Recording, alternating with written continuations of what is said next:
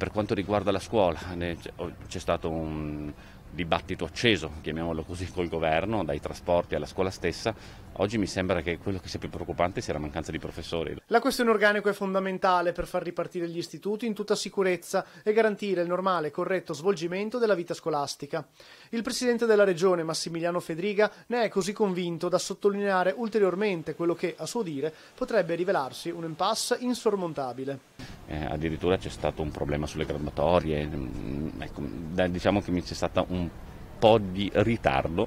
per essere diciamo, eh, gentili con eh, chi ha seguito eh, nel, nel, Ministero dell'Istruzione la faccenda, per quanto, perché noi, io ricordo che le, la conferenza delle regioni da marzo eh, aveva chiesto eh, lumi e ad oggi siamo ancora qui a cercare di capire quello che avverrà. La sfida poi, come riportato anche a livello nazionale, sarà sull'utilizzo dei test rapidi per un maxi tracciamento veloce, già ampiamente utilizzati in Friuli Venezia Giulia, anche se il risultato è un po' meno preciso del tampone tradizionale. Beh, I test rapidi ricordo che sono stati validati dallo Spallanzani, è vero che sono meno diciamo, precisi del tampone tradizionale, però è chiaro che finché non avremo delle, eh, dei test infallibili e neanche il tampone tradizionale lo è, eh, sempre dobbiamo eh, ragionare cercando di avere il maggior risultato possibile eh, e il maggior risultato possibile dato anche dai tempi